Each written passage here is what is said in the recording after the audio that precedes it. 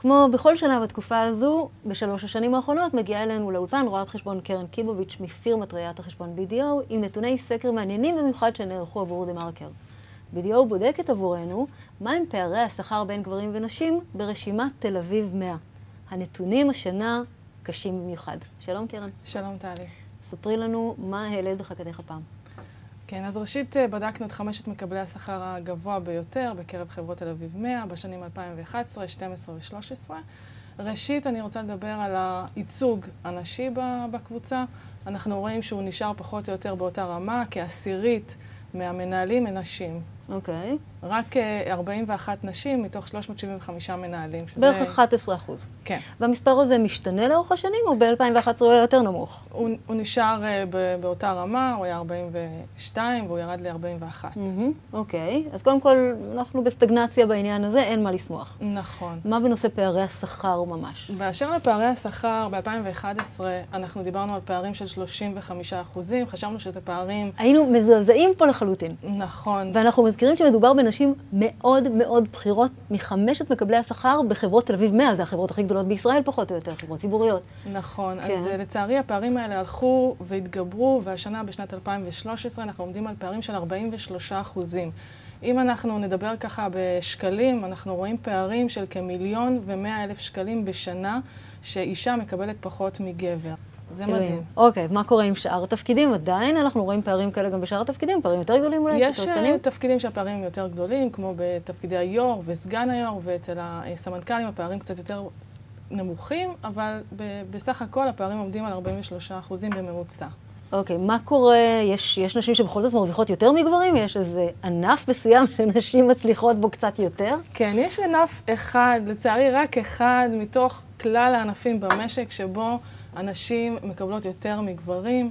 מדובר בענף הבנקים, ששם אנחנו רואים שיש הפרש של כ-7 אחוזים, אמנם לא פער משמעותי, אך הענף הזה מתבלט לטובה אה, לנוף ה...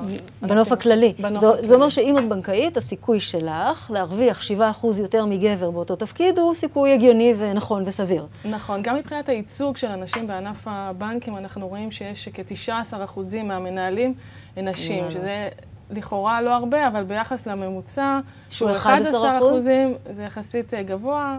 אוקיי. הכל יחסי, זה הרע במיעוטו. אוקיי, okay, מה קורה עם שאר הענפים? מה קורה שם? יש ענפים שהתבלטו לרעה, אה, למשל ענף הטכנולוגיה, בו נצפתה רק אישה אחת מכל האוכלוסייה. ענף התעשייה הוא ענף אה, שמתגמל הכי פחות נשים. אנחנו רואים שגבר בענף התעשייה מקבל פחות מאישה, מקבל יותר מאישה פי שתיים ושליש. אוקיי, וואו. פערים מדהימים. Mm-hmm, אבל בפעם הראשונה אנחנו רואים נשים בענף הביטוח. נכון. אוקיי. יש נשים שתיים. אוקיי, ומה קורה עם ה... אה, בואי נדבר על אופן התגמול, כי אנחנו יודעים שעל פי השנים הקודמות, נשים, חבילת התגמול של נשים שונה מחבילת התגמול של גברים. נכון, גם בשנת 2013 אנחנו רואים באופן מובהק שחבילת התגמול של הנשים, התמהיל שלה הוא שונה. הרכיב הקבוע, יש שלושה רכיבים, יש רכיב קבוע ויש שני רכיבים משתנים, שזה מענק ועוני. אנחנו רואים שאצל האישה הרכיב הקבוע הרבה יותר דומיננטי, כשני שליש מהחבילה. Mm-hmm. הוא קבוע, הוא לא מבוסס אה, ביצועים. וגברים? ואילו אצל הגברים כ-50 אחוז הוא קבוע. כלומר, אפשר להסיק מכך שנשים מעדיפות חבילה שהיא יותר יציבה, יותר בטוחה, פחות מסוכנת, ואילו הגברים מעדיפים יותר לקחת את הסיכון על מנת לזכות במענק גבוה יותר. ויכול להיות שבגלל זה גם המשכורות שלהם בסיכומו של דבר גבוהות יותר. יכול מאוד להיות, זה אחד ההסברים. בואי נדבר על גילאים. באיזה גילאים מקבלים יותר כסף, גם גברים וגם נשים, מבין חמש מקבלי השכר הגבוה? אנחנו רואים שבין אה, גילאי 50 לגילאי ה-60, אה, זה התקרה, כלומר שם המנהלים משתכרים ברמות הכי גבוהות. אבל מה שמעניין יותר לראות זה שככל שהגיל מתבגר יותר, אנחנו ביצענו חתך אה, לפי עשורים, ככל שמתבגרים, ככה הפערים הולכים וגדלים. אם אנחנו מסתכלים על אה, נשים וגברים עד גילאי ה-40, אנחנו רואים שהפערים עומדים על כ-11 אחוזים. רק. 11 אחוז, אוקיי. כן, רק. כן. וכשאנחנו מסתכלים על גילאי 60 ו-70, הפערים כבר הופכים להיות עד פי שתיים וחצי. תמונה קשה. מאוד.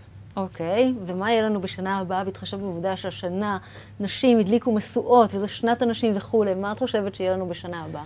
אני לא כל כך אופטימית, בטח שלא יהיה שינוי אה, שישנה מקצה לקצה.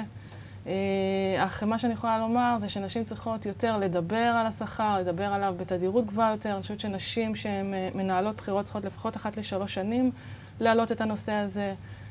אני מאוד מקווה שנשים גם ייפתחו לענפים שונים, כי אנחנו רואים שבמעבר בין ענפים המשכורות הולכות ועולות.